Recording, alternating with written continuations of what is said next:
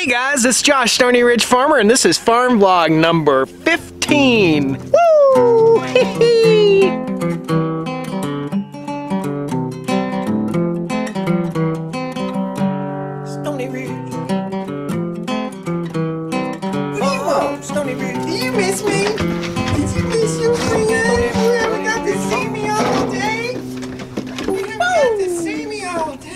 So man, I gotta apologize. You guys haven't seen me in a while. I've been really, really busy. Had to go to work for a few days. It's been tough times at work. Uh, I don't know if you guys know, but I'm an ICU nurse, and you know, just dealing with death, life and death every day. Sometimes it weighs you down. Sometimes you just need a couple days just for you. So, sorry guys. If you missed me, I'm back. Woo, I'm back. While I was at work, some things got a little bit behind on the farm. We still got our load of lumber right here. We've got to get that off the trailer tomorrow. It's supposed to be a beautiful day, and I made a farm boo-boo, a big boo-boo.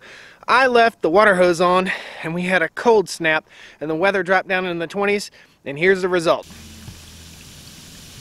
So my doggone water hose froze up. It did not freeze the back portion where I turned the hose on, the little hose bib. So glad it didn't freeze that. That would have really sucked to have to dig that thing up. But now we've got a busted uh, water hose nozzle and I got to water my animals. Got to water my chickens and my goats and check on everybody. Make sure everybody's cool, man. Welcome to farming. Well, let's go down check on the baby chickies. See how they're doing today. I think they're probably doing pretty good. It's been a beautiful sunny day. We did have a good cold snap, so it's been down to 30s all day long. Buddy has missed me all day. And man, what a pretty sunset. Awesome. I'm breathing like a fat kid in gym class. Oh, I gotta get in shape. Gonna have to start the Stoney Ridge Farmer Weight Loss Challenge. Who can lose the most weight and still eat southern country food and pick up buckets of water? Be a man. Who can lose weight and be a man? Hey, Birdie. Hi, little bird friend. Let's get you some water. Oh, that sounds yummy, doesn't it?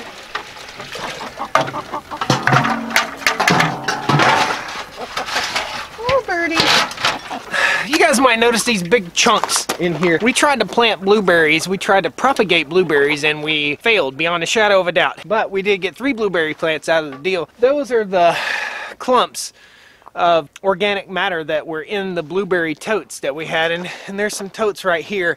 Uh, we'll use those in our uh, little hoop house that we're going to build sometime in the next couple farm vlogs. We're to let the chickens peck through those, eat the bugs out, eat the worms, roots, get some organic material in their life because they need it, just like we do.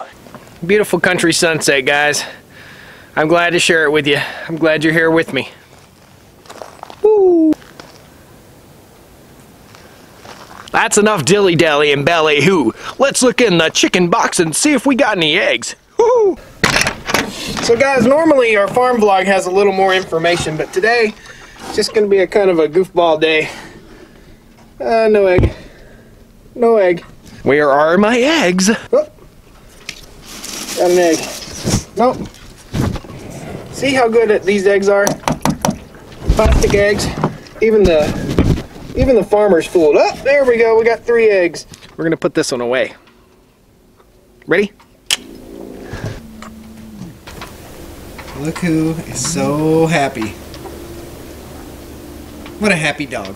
Get out the way, old Dan Tucker. You're too late to get your supper. Spurs gone and breakfast cooking. Old Dan Tucker just standing there looking. Yeehaw! Farm life, baby. Woo! Howdy dogs. Hey, everybody. Hey, friends. Hey, my little friends. What y'all doing? I'm gonna go play with my little goat friends. I missed them. So I like to get over here and spend some time with the goats so that I can hang out with them and rub them and pet them and make them tame. Hey, little friends. There you go. There you go, little friend. Billy. Hey, Billy.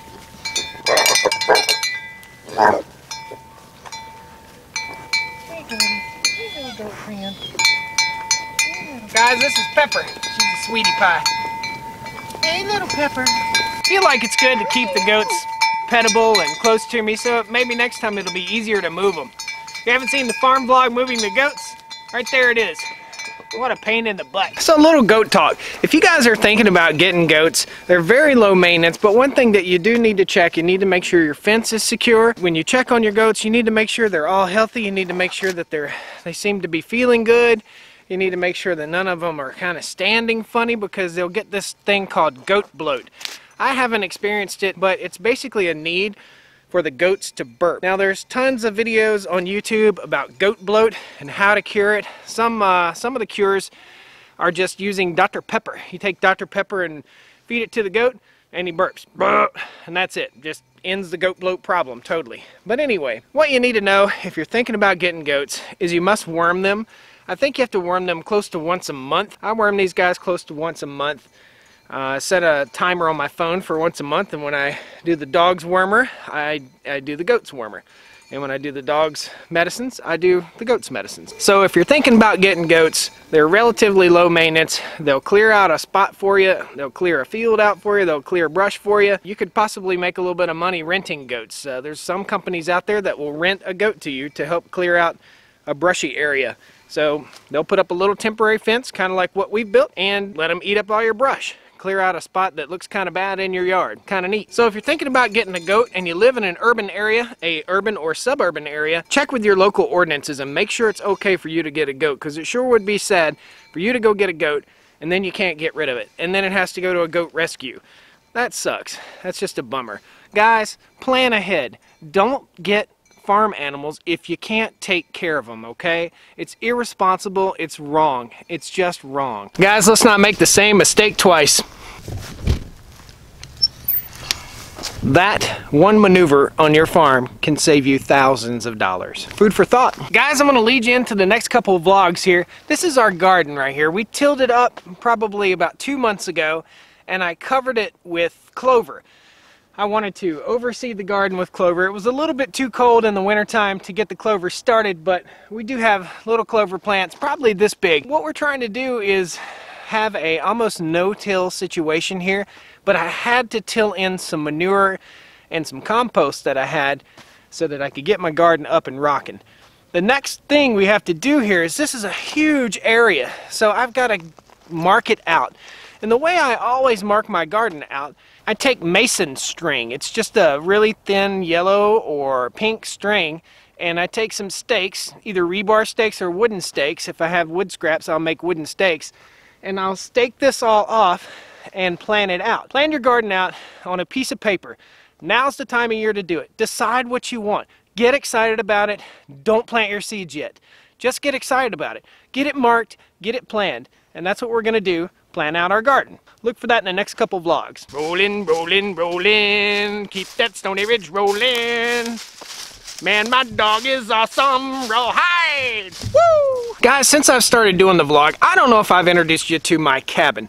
This is a cabin that was built circa 1910. It's got awesome old logs in it. In a future vlog video, we're gonna take this cabin, and my plan is to jack up the roof, take the roof off, raise it up, take the logs out, and set the roof on pillars. That's my plan. That is going to be a funny vlog. There will probably be a three-part series on this on taking this thing down, harvesting the logs, storing the logs, and reclaiming this wood. And also, the biggest challenge, my plan is to run some cables underneath the rafters on this thing, hook them to the large poplar trees around us, and use a come along and jack it back up. I don't know how this is going to work. So I want to show you guys the inside of the cabin also. This is uh, old tongue and groove oak boards. So guys, this was the second story of this building and back here are all sorts of awesome tongue and groove oak planks. We've got to get these out. We've got to save them. We've got to keep this part of history on our farm. We've got to do it. So this is the second floor. This building fell off its foundation and it's a bummer, man. It would have been so awesome to have this. I wish people would take care of their buildings and take care of their farms. I think folks get up in age and they just stop taking care of their farm. It's it's really disappointing. I say it's disappointing, but this place would have cost five times as much had it been properly manicured and taken care of. So thank you for not taking care of your farm. I'll do it now. Because I love it. Because it's my house. Where I live. It's my home. And I protect it. And I love y'all too. All right. Woo! A lot of stuff in old dude's head here, man. A lot of things going around. A lot of what have yous. Don't forget, guys, I'm a farmhand and a nurse. It's okay. You can be a man and a nurse. Look for the cabin takedown video. It's coming. Subscribe to the channel. Awesome stuff to come, guys. Reclaiming this old barn. It's actually a cabin. Reclaiming this old cabin. Good stuff. This is the first time you've watched my vlog. Guys, don't forget to dream, okay? Don't forget to dream. This place is a dream. It's a dream of mine. Whatever your dream is, don't forget it, guys. Don't forget your passion. Don't forget your creativity. Don't forget to dream, America. So that's it for today. I got things to do inside. I'm getting my office ready so that I can sit down, make videos, run the farm, do what I need to do. Look for some good stuff to come. I thank you for watching. Don't forget to subscribe to the channel. If this is your first time watching, check out some of the other videos. Got good stuff. If you want to learn a little something about farming, you want some good advice, all advice is good in my opinion. Whether you think it's good advice or not, watch the vlog, enjoy yourself, smile. I hope I can put a smile on your face. This is Josh, Stoney Ridge Farmer. Thanks for watching. Woo! Well, come on down to the Stoney Ridge. Bring your wife and bring your kids. We're living life pure and sweet.